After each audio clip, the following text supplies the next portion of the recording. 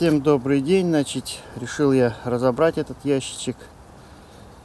Э, Он мне подозрительно показался, что тут нет кормов. И я оказался прав. Вот смотрите. Сразу скажу, что вреда никакого пчеле не будет. Вот, ну, жизнь им спасу. Клуб хороший здесь. Сами можете видеть. Вот, особи практически нет. Но нету кормов. Они выжрали их. Вот, поэтому смотрите, что делаете. Видите, нету кормов на рамках. Но это не беда. Э, Что делаете? Берете, вот я просто его разобрал.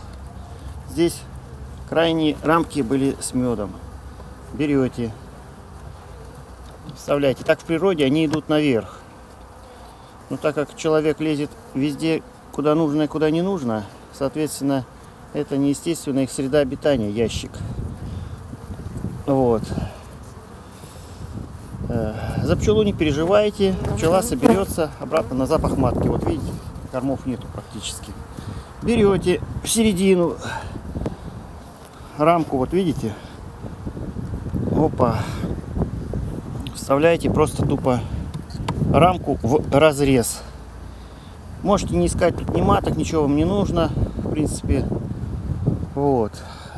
Вот таким вот образом формируете заново ящичек. Сейчас я просто тут мало кормов на этих рамках. Я больше кар...